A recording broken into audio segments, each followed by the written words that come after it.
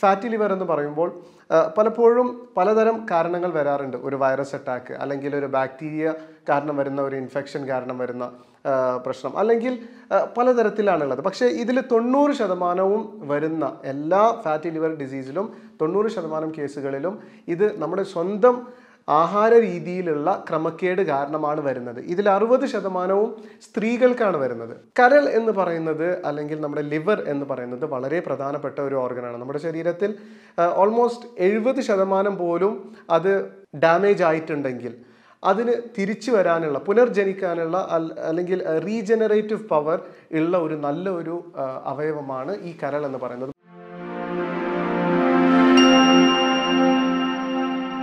Non alcoholic fatty liver disease അഥവാ മദ്യപാനം കാരണം അല്ലാതെ വരുന്ന കരൾ വീക്ക രോഗം. അപ്പോൾ ഈ ഒരു ഫാറ്റി ലിവർ എന്ന് പറയുന്ന ഒരു രോഗം നാൽപ്പത്തി ഒൻപത് പോയിന്റ് എട്ട് ശതമാനം പേർക്കാണ് കേരളത്തിലുള്ളത്. അപ്പോൾ ഒരു പാതിയിലേറെ പേർക്ക് ഈ ഒരു രോഗം പിടിപെട്ടിട്ടുണ്ട്. പക്ഷേ ഇതിന്റെ ഒരു ഗുരുതരാവസ്ഥ ആരും തന്നെ മനസ്സിലാക്കുന്നില്ല. കാരണം ഇത് ഒരു ചെറിയ മെഡിസിൻ അല്ലെങ്കിൽ ഒരു ചെറിയ മെഡി മരുന്ന് എടുത്ത് കൊണ്ട് തന്നെ ഇത് പൂർണമായിട്ടും മാറ്റാൻ പറ്റും എന്നതാണ് പലരും വിശ്വസിച്ച് വരുന്ന ഒരവസ്ഥ വരുന്നത്. നമ്മൾ ഫാറ്റി ലിവർ എന്ന് പറയുമ്പോൾ പലപ്പോഴും പലതരം കാരണങ്ങൾ വരാറുണ്ട്. ഒരു വൈറസ് അറ്റാക്ക് അല്ലെങ്കിൽ ഒരു ബാക്ടീരിയ കാരണം വരുന്ന ഒരു ഇൻഫെക്ഷൻ കാരണം വരുന്ന പ്രശ്നം. അല്ലെങ്കിൽ പലതരത്തിലാണുള്ളത്. പക്ഷേ ഇതിൽ തൊണ്ണൂറ് ശതമാനവും വരുന്ന എല്ലാ ഫാറ്റി ലിവർ ഡിസീസിലും തൊണ്ണൂറ് ശതമാനം കേസുകളിലും ഇത് നമ്മുടെ സ്വന്തം ആഹാര രീതിയിലുള്ള ക്രമക്കേട് കാരണമാണ് വരുന്നത്. ഇതിൽ അറുപത് ശതമാനവും സ്ത്രീകൾക്കാണ് വരുന്നത്. അറുപത് ശതമാനവും വീട്ടമ്മമാർക്കാണ് വരുന്നത്. മറിച്ച് ഇത് പിന്നെ സാധാരണ മുൻകാലത്ത് നമ്മൾ കണ്ട് വന്നിരുന്നത് മദ്യപാനികളിലാണ് ഏറ്റവും കൂടുതൽ ഫാറ്റി ലിവർ കണ്ടു വന്നിരുന്നത്.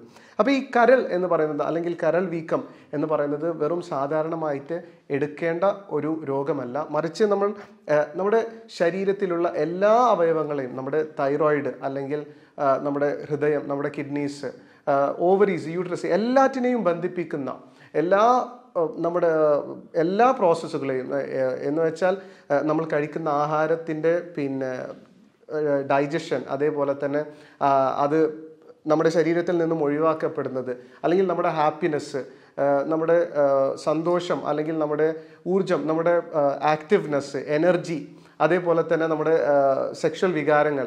അപ്പോൾ ഇത് ഇതിലെല്ലാം തന്നെ ഒരു പങ്കുള്ള ഒരു അവയവമാണ് ഈ കരൾ എന്ന് പറയുന്നത്. അപ്പോൾ ഈ ഒരു കരളിൻ പിടിപ്പെടുന്ന ഒരു രോഗം ഇതിനെല്ലാറ്റിനെയും പ്രശ്നത്തിലാക്കുന്ന രീതിയിലാണ് ശരിക്കും നമ്മുടെ ശരീരം അതിലൂടെയാണ് കടന്നു പോകുന്നത്. കരൾ എന്ന് പറയുന്നത് അല്ലെങ്കിൽ നമ്മുടെ ലിവർ എന്ന് പറയുന്നത് വളരെ പ്രധാനപ്പെട്ട ഒരു ഓർഗനാണ്. നമ്മുടെ ശരീരത്തിൽ ഓൾമോസ്റ്റ് എഴുപത് ശതമാനം പോലും അത് ഡാമേജ് ആയിട്ടുണ്ടെങ്കിൽ അതിന് തിരിച്ചു വരാനുള്ള പുനർജനിക്കാനുള്ള അല്ലെങ്കിൽ റീജനറേറ്റീവ് പവർ ഉള്ള ഒരു നല്ല ഒരു അവയവമാണ് ഈ കരൾ എന്ന് പറയുന്നത്. പക്ഷെ അത് അതിനൊരു സമയം കൊടുക്കാതെ അതിന് ഹീൽ ചെയ്യാൻ അല്ലെങ്കിൽ നന്നാവാൻ ഉള്ള ഒരു സമയം കൊടുക്കാതെ തുടർച്ചയായി നമ്മൾ ചെയ്യുന്ന ക്രമക്കേട് നമ്മുടെ ആഹാര രീതിയിൽ വരുന്ന ക്രമക്കേട് കാരണമാണ് ഈ ഒരു ഫാറ്റി ലിവർ എന്ന് പറയുന്നത്.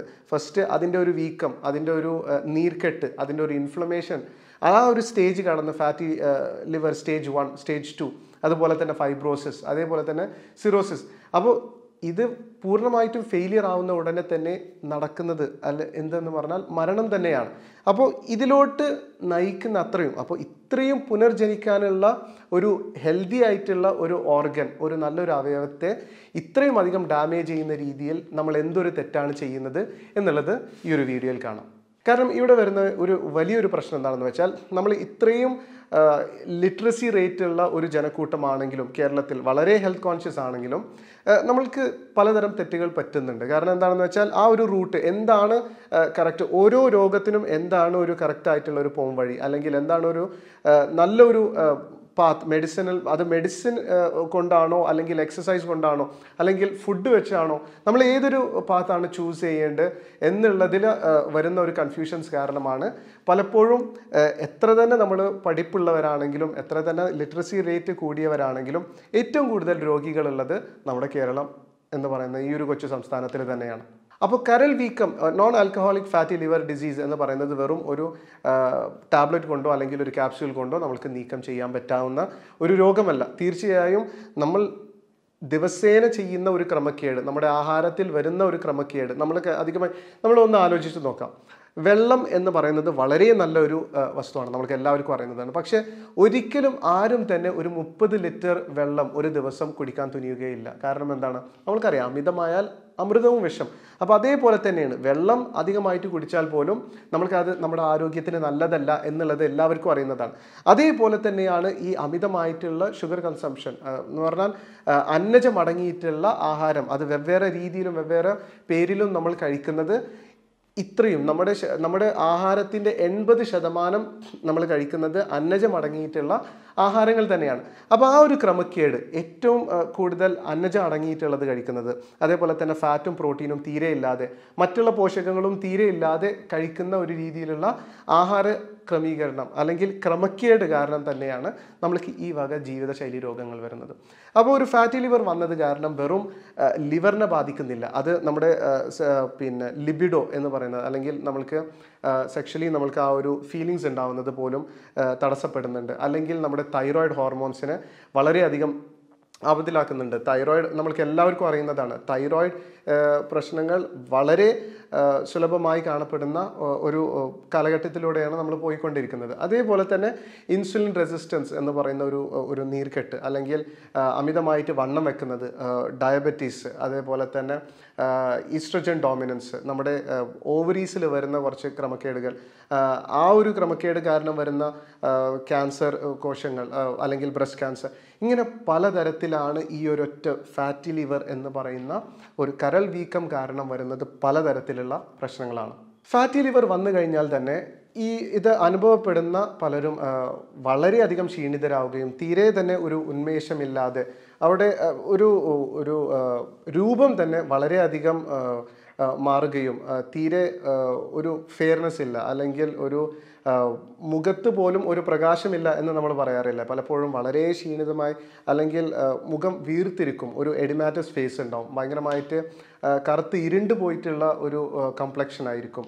വളരെ നമ്മൾ കണ്ടാൽ തന്നെ വളരെയധികം ഡിസീസ്ഡ് ആയിട്ടുള്ള അല്ലെങ്കിൽ വളരെയധികം രോഗത്തിൽ നിന്നും പലപ്പോഴും അവർ മനസ്സിലാക്കാറില്ല അത്. അപ്പോൾ പെട്ടെന്ന് ഭയങ്കരമായിട്ട് വേർക്കുന്ന രീതിയിൽ അല്ലെങ്കിൽ കിതപ്പ് അല്ലെങ്കിൽ ഭയങ്കരമായിട്ട് ഉറക്കമില്ലായ്മ. പലതരത്തിലാണ് നമ്മുടെ എല്ലാ ആരോഗ്യത്തിലുള്ള എല്ലാ മേഖലകളിലും തന്നെ നമ്മൾ എഫക്റ്റ് ചെയ്യുന്ന രീതിയിലാണ് കരൾ രോഗം വന്നു കഴിഞ്ഞാൽ അനുഭവപ്പെടാറുള്ളത്. ഇത് കാരണം തന്നെ നമ്മൾക്ക് പലപ്പോഴും ബാക്കി അലർജീസ് ഭയങ്കരമായിട്ടുള്ള അലർജീസ് അല്ലെങ്കിൽ സൈനസൈറ്റിസ് അല്ലെങ്കിൽ കോൺസ്റ്റിപ്പേഷൻ അങ്ങനെ ഈ പറഞ്ഞ പോലെ എല്ലാ മേഖലകളിലും ഇതെല്ലാം തന്നെ നമ്മൾ അനുഭവപ്പെടുന്നുണ്ടെങ്കിൽ തീർച്ചയായും നമ്മുടെ ഒരു ലിപ്പിഡ് പ്രൊഫൈൽ ഒന്ന് എടുത്ത് നോക്കേണ്ടതാണ്. നമ്മുടെ കൊളസ്ട്രോളിന്റെ ലെവൽസ് ടോട്ടൽ കൊളസ്ട്രോൾ അതേപോലെ തന്നെ triglyceride H D L L D L ഇതെല്ലാം തന്നെ ഇതിന്റെ എല്ലാം അളവ് എത്രയുണ്ട് ഒരു കറക്റ്റ് റേഞ്ചിലാണോ എന്നുള്ളതെല്ലാം നമ്മൾ കറക്റ്റായിട്ട് വീക്ഷിക്കേണ്ടതും അറിയേണ്ടതുമാണ്. അപ്പോൾ ലൈഫ് സ്റ്റൈൽ കാരണം അല്ലെങ്കിൽ ജീവിതശൈലി കാരണം വന്നിട്ടുള്ള ഈ ഒരു കരൾ വീക്കം നമ്മൾക്ക് മാറ്റാൻ പറ്റുന്നതാണോ? തീർച്ചയായും നമുക്ക് പൂർണമായിട്ടും ഈ ഒരു ഫാറ്റി ലിവർ നമ്മൾക്ക് മാറ്റാൻ പറ്റുന്നതാണ്. അതെങ്ങനെയെന്ന് വെച്ചാൽ വെറും കുറച്ച് മെഡിസിൻസ് എടുത്തതുകൊണ്ടോ അല്ലെങ്കിൽ മരുന്ന് എടുത്തത് കൊണ്ടോ മാത്രമല്ല നമ്മുടെ ഒരു ജീവിതശൈലി പൂർണമായും ആ ഒരു ക്രമം വരുത്തിക്കൊണ്ട് തന്നെയാണ് നമ്മൾക്ക് ഇതിൽ നിന്നും ഒരു പൂർണമായിട്ടും ഉള്ള ഒരു ഒരു ക്യൂർ എന്ന് പറയുന്നത് നമ്മൾക്ക് ലഭിക്കുകയുള്ളൂ. അപ്പോൾ എന്താണ് ശരിക്കും സംഭവിക്കുന്നത്? ശരീരത്തിൽ എന്തുകൊണ്ടാണ് ഇവിടെ നീർക്കെട്ട് സംഭവിക്കുന്നത്? ഇത് നമ്മുടെ സ്വന്തം ശരീരം തന്നെ നമ്മുടെ സ്വന്തം ശരീരത്തിന്റെ പ്രതിരോധ കോശങ്ങൾ തന്നെ നമ്മുടെ കരളിനെ അറ്റാക്ക് ചെയ്യുന്നത് അല്ലെങ്കിൽ ആക്രമിക്കുന്ന ഒരു രീതിയിൽ വരുന്നതാണ് ഇവിടെ നീർക്കെട്ട് വരുവാനും അതേപോലെ തന്നെ ഫാറ്റി ലിവർ ഡിസീസ് ഉണ്ടാകുവാനും ഉള്ള ഒരു ഒരു സാധ്യത അല്ലെങ്കിൽ ഒരു അവസ്ഥ വരുന്നത്. അപ്പോൾ ഇതെ ഇതിന്റെ എല്ലാം തുടക്കം എന്ന് പറയുന്നത് അധികമായിട്ടുള്ള ഇൻസുലിൻ നമ്മുടെ ശരീരത്തിൽ ഇൻസുലിൻ എന്ന് പറയുന്നത് ഒരു സ്റ്റോറേജ് ഹോർമോണാണ് അപ്പോൾ അധികമായിട്ട് അമിതമായിട്ടുള്ള എല്ലാ അന്നജം അല്ലെങ്കിൽ മധുരത്തിന്റെ അംശം കാണപ്പെടുമ്പോൾ ഇത് ഈ ഇൻസുലിൻ എന്ന് പറയുന്നത് എല്ലാറ്റിനെയും എടുത്ത് സ്റ്റോർ ചെയ്യുകയാണ്. കൊഴുപ്പ് കൊഴുപ്പായി മാറ്റി മധുരത്തിനെ കൊഴുപ്പായി മാറ്റി അറകളിൽ എടുത്തു വെക്കുകയാണ് ഇവിടെ നടക്കുന്നത്. അപ്പോൾ ഇത്രയും അധികം ഇൻസുലിൻ എവിടെ നിന്നാണ് എന്തുകൊണ്ടാണ് ഉൽപ്പാദിപ്പിക്കപ്പെടുന്നത്? നമ്മൾ അമിതമായി എടുക്കുന്ന അന്നജം കാരണം തന്നെയാണ്. നമ്മുടെ ആഹാരക്രമത്തിൽ ഭയങ്കരമായി ചോറ് അല്ലെങ്കിൽ അരി ഗോതമ്പ് ചോളം റവ രാഗി മുത്താരി ഓട്സ് എന്നിവ തുടങ്ങിയിട്ടുള്ള എല്ലാ വക ധാന്യങ്ങളും ചെറുധാന്യങ്ങളും അമിതമായി നമ്മൾ കഴിക്കുന്നത് കാരണമാണ് ഈ ഒരു എക്സ്ട്രാ സോസ് ആയിട്ട് വരുന്നതെല്ലാം തന്നെ ഇൻസുലിൻ എടുത്ത് അത് കൊഴുപ്പായി മാറ്റി കോശങ്ങളിൽ അടിച്ചമർത്തുകയാണ്. എന്ന് വെച്ചാൽ കൊഴുപ്പ് എവിടെയാണോ സ്റ്റോർ ചെയ്യേണ്ടത് ആ ഒരു കോശങ്ങളിലല്ലാതെ നമ്മുടെ മറ്റ് അവയവങ്ങളിൽ നമ്മൾക്ക് കരൾ എന്ന് പറയുന്നത് അതിന്റേതായിട്ടുള്ള പ്രവർത്തനങ്ങളുണ്ട്. ആ കോശങ്ങളിൽ പോയി കൊഴുപ്പായി അടിഞ്ഞു കിടക്കുന്നതാണ് ഇവിടെ ഏറ്റവും വലിയ ഒരു പ്രശ്നം വരുന്നത്. അപ്പോൾ ആ ഒരു സമയത്ത് ഇത്രയധികം കൊഴുപ്പ് അടിഞ്ഞ് കൂടുമ്പോൾ ഈ ഒരു കരളിൽ വരുന്ന ഒരു വീക്കം അല്ലെങ്കിൽ ഒരു സ്ട്രെസ്സ് കാരണം നമ്മുടെ സ്വന്തം ശരീരം പ്രൊട്ടക്റ്റ് ചെയ്യാൻ ചെല്ലുകയും അതേപോലെ തന്നെ അവിടെ വരുന്ന ഒരു ഇൻഫ്ലമേഷൻസ് ഒരു ഇൻഫ്ലമേറ്ററി റെസ്പോൺസ് ഒരു നീർക്കെട്ട് ഇതാണ് ഏറ്റവും വലിയ ഒരു രോഗമായി മാറുന്നത്. പിന്നീട് ഇത് കാലാകാലം ഇതൊരു ഒരു ആറുമാസം നടക്കുന്നത് കൊണ്ട് പലപ്പോഴും പ്രശ്നം വരാറില്ല. പക്ഷേ ഇത് തുടർച്ച തന്നെ ഈ ഒരു പ്രോസസ്സ് ഇത് നടന്നുകൊണ്ടേയിരിക്കുകയാണ്. അപ്പോൾ ഒരു അഞ്ച് വർഷം അല്ലെങ്കിൽ ആറ് വർഷം എല്ലാം അമിതമായി കഴിക്കുന്ന അന്നജം കാരണം ഇത് മാത്രം. നമ്മൾ പലപ്പോഴും ഫുഡിനെ കുറിച്ച് തീരെ തന്നെ ആലോചിക്കാത്ത പലരുമുണ്ട്. അപ്പോൾ ബിരിയാണി മാത്രമാണ് പ്രശ്നം അല്ലെങ്കിൽ നെയ്ച്ചോറ് മാത്രമാണ് പ്രശ്നം എന്ന് വിചാരിച്ചുകൊണ്ട് വെറും ചോറ് അല്ലെങ്കിൽ ചപ്പാത്തി അല്ലെങ്കിൽ അമിതമായിട്ടുള്ള മറ്റ് പലഹാരങ്ങൾ എല്ലാത്തിന്റെയും ബേസ് അരി തന്നെയാണ് അല്ലെങ്കിൽ ധാന്യങ്ങൾ തന്നെയാണ്. അപ്പോൾ ഈ ബേസ് വെച്ചിട്ട് കഴിക്കുന്ന എല്ലാ ആഹാരങ്ങളും തന്നെ ഒരേ ഫങ്ഷൻ തന്നെയാണ് ചെയ്യുന്നത്. നമ്മളത് മറ്റ് നമ്മൾക്ക് കാണാനും രുചിക്കാനും വേറെ രീതിയിലാണെങ്കിലും ഇതിന്റെ ഒരു ബേസ് എന്ന് പറയുന്നത് എന്താണ്? അരിയാര അരിയാഹാരങ്ങൾ തന്നെയാണ്. അപ്പോൾ അതിലുള്ള അന്നജം അതിലുള്ള അമിതമായിട്ടുള്ള പിന്നെ മധുരം മധുരത്തിന്റെ അംശം തന്നെയാണ് ഈ വക പ്രശ്നങ്ങൾ ഈ ഒരു കരൽ വീക്കത്തിലോട്ട് നയിക്കുന്നത്. അപ്പോൾ ഫാറ്റി ലിവർ എന്ന് പറയുന്ന ഒരു രോഗത്തെ നമ്മുടെ ശരീരത്തിൽ നിന്നും എങ്ങനെ നമ്മുടെ സ്വന്തം പ്രയത്നം കാരണം തന്നെ നമ്മുടെ സ്വന്തം വീട്ടിൽ നിന്ന് തന്നെ എങ്ങനെ തരണം ചെയ്യാം എന്നുള്ളതിനെ കുറിച്ചാണ് നമ്മളിപ്പോൾ ഡിസ്കസ് ചെയ്യാൻ പോകുന്നത്. ഫാറ്റി ലിവർ നമ്മുടെ ശരീരത്തിൽ നിന്നും തുടച്ചു നീക്കാൻ വേണ്ട ഏറ്റവും നല്ലൊരു വിറ്റമിൻ എന്ന് പറയുന്നത് വിറ്റമിൻ ബി ട്വൽവ് അല്ലെങ്കിൽ കോലീൻ എന്ന് പറയുന്ന ഒരു വിറ്റമിനാണ് അപ്പോൾ ഈ ഒരു വിറ്റമിൻ എന്താണ് നമ്മുടെ ലിവറിൽ ചെയ്യുന്നത് എന്ന് വെച്ചാൽ സാധാരണമായിട്ടുള്ള ഒരു ഫാറ്റ് കൺവേർഷൻ ഈ ഒരു ഇതിൽ നിന്നും അടിഞ്ഞു കിടക്കുന്ന കൊഴുപ്പിനെ തിരിച്ച് ഷുഗറായി മാറ്റി നമ്മുടെ എനർജി നമ്മൾക്ക് വേണ്ട എനർജി നമ്മുടെ ശരീരത്തിന് വേണ്ട എനർജിയായി മാറ്റുന്നതിന് ആ, ഒരു കൺവേർഷന് നന്നായിട്ട് ഹെൽപ്പ് ചെയ്യുന്നതാണ് കൊളീൻ എന്ന് പറയുന്ന വിറ്റമിൻ അപ്പോൾ ഈ ഒരു വിറ്റമിൻ ധാരാളമായിട്ട് നമ്മൾക്ക് ഒന്നുകിൽ സപ്ലിമെന്റ്സ് ആയിട്ട് എടുക്കാവുന്നതാണ്. വിറ്റമിൻ ബി കോംപ്ലക്സ് നമ്മൾക്ക് സപ്ലിമെന്റ്സ് ആയിട്ട് എടുക്കാവുന്നതാണ്. അതാണ് ഏറ്റവും നല്ലത്. നമ്മുടെ ശരീരത്തിന് റോ ഫോമിൽ തന്നെ നല്ല കോൺസെൻട്രേറ്റഡ് ഫോമിൽ തന്നെ കിട്ടുന്നതാണ്. അത് എല്ലാ ഫാർമസിയിൽ നിന്നും എന്നാലും തീർച്ചയായിട്ടും നിങ്ങളുടെ ഒരു ഡോക്ടറിന്റെ ഗൈഡൻസിൽ തന്നെ അത് എടുക്കുന്നതാണ് ഏറ്റവും നല്ലത്. വിറ്റമിൻ ബി ട്വൽവ് എന്ന് പറയുന്ന കോളീൻ ധാരാളമായിട്ട് എടുക്കാവുന്നതാണ്.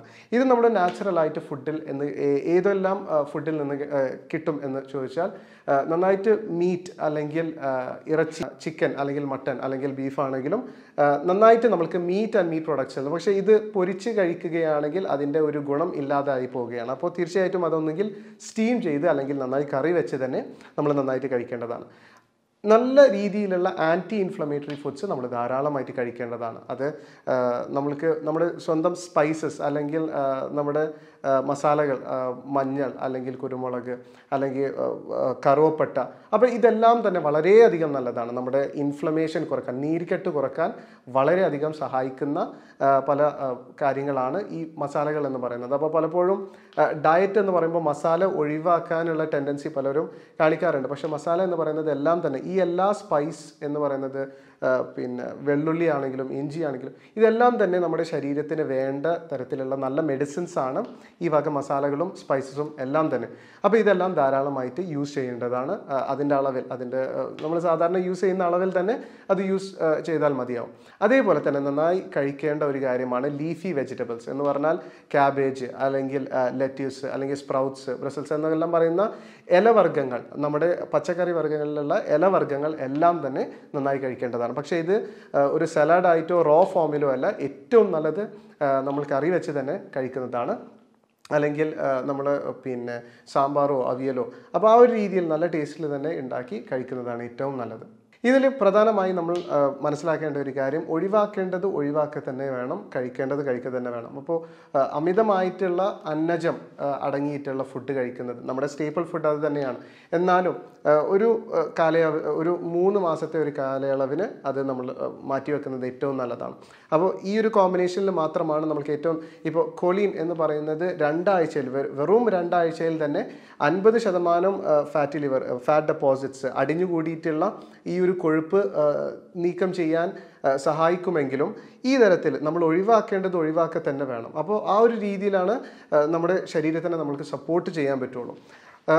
കറക്റ്റായിട്ടുള്ള ഒരു രണ്ടര ലിറ്റർ വെള്ളം അതിൽ ഒന്നുകിൽ മഞ്ഞളോ അല്ലെങ്കിൽ മറ്റുള്ള ഈ പറഞ്ഞ സ്പൈസസ് എല്ലാം ആഡ് ചെയ്തിട്ടുള്ള ഒരു വെള്ളം എല്ലാ ദിവസവും നമ്മൾ വെള്ളം കുടിക്കുന്നതാണ്. അപ്പോൾ അതിൽ ഏറ്റവും നല്ലത് ഈ വക സ്പൈസസ് ആന്റി ഇൻഫ്ലമേറ്ററി ആയിട്ടുള്ള അല്ലെങ്കിൽ മരുന്നിന്റെ എഫക്റ്റ് ഉള്ള പലതരം സ്പൈസസ് എല്ലാം ആഡ് ചെയ്തിട്ട് അത് രാത്രി ഒന്ന് തിളപ്പിച്ച് ആറാൻ വെച്ചതിന് ശേഷം ദിവസം തോറും കുറച്ച് കുറച്ചായി കുടിക്കുന്നത് വളരെ അധികം യൂസ്ഫുൾ ആണ്. ഈ ഫാറ്റി ലിവർ ഡിസീസിന് വളരെയധികം യൂസ്ഫുൾ ആണ്. അതേപോലെ തന്നെ വളരെ യൂസ്ഫുൾ ആയിട്ടുള്ള ഒരു ടിപ്പാണ് ഇന്റർമീഡിയൻ ഫാസ്റ്റിംഗ് എന്ന് പറയുന്നത്. എല്ലാ ദിവസവും തന്നെ ഉപവാസം എടുക്കുന്നത് വളരെയധികം ഹെൽപ്ഫുൾ ആണ്. കാരണം നമ്മൾക്ക് എല്ലാവർക്കും അറിയുന്നതാണ് രണ്ടായിരത്തി പതിനാറിൽ നൊബൽ സമ്മാനം കിട്ടിയിട്ടുള്ളത് ഈ ഒരു ഫാസ്റ്റിംഗ് അല്ലെങ്കിൽ ഉപവാസ സമയത്ത് എന്ത് നമ്മുടെ ശരീരത്തിൽ നടക്കുന്നു ആ, ഒരു പ്രക്രിയക്കാണ് രണ്ടായിരത്തി പതിനാറിൽ നൊബൽ സമ്മാനം കിട്ടിയിട്ടുള്ളത്. ഓട്ടോഫേജി എന്ന് പറയും. എന്ന് വെച്ചാൽ സ്വന്തം കോശങ്ങളിലുള്ള അഴുക്കിനെ അല്ലെങ്കിൽ അടിഞ്ഞുകൂടിയിട്ടുള്ള കൊഴുപ്പിനെ ഇല്ലാതാക്കുന്ന അല്ലെങ്കിൽ ദഹിപ്പിക്കുന്ന രീതിയിലുള്ള ഒരു പ്രക്രിയയാണ് നടക്കുന്നത്. അപ്പോൾ ഈ ഒരു കോമ്പിനേഷൻ നല്ലൊരു ഒഴിവാക്കേണ്ട ഭക്ഷണങ്ങൾ ഒഴിവാക്കുകയും കഴിക്കേണ്ട ഭക്ഷണങ്ങൾ കഴിക്കുകയും മരുന്നായിട്ടുള്ള സ്പൈസസ് അത് എടുക്ക അതിന്റെ അളവിൽ എടുക്കുകയും. അതേപോലെ തന്നെ കറക്റ്റായിട്ട് ഒരു ഫാസ്റ്റിംഗ് എല്ലാ ദിവസവും ഒരു പതിമൂന്ന് മണിക്കൂർ നേരം ഫാസ്റ്റിംഗ് എടുക്കുന്നതും വളരെയധികം ഒരു നല്ലൊരു കോമ്പിനേഷൻ ഇതൊരു പെർഫെക്റ്റ് ആയിട്ടുള്ള ഒരു കോമ്പിനേഷനാണ് വളരെ എഫിഷ്യന്റ് ആയിട്ട് നാച്ചുറൽ ആയിട്ടും നമ്മുടെ ഫാറ്റ് ലിവറിനെ പൂർണമായിട്ടും ഒഴിപ്പിച്ച് കളയാൻ. എല്ലാവർക്കും ഒരു നല്ല ആരോഗ്യം ആശംസിക്കുന്നു നേരുന്നു. വീണ്ടും ഒരു ഹെൽത്ത് വീഡിയോയുമായി കാണാം. താങ്ക്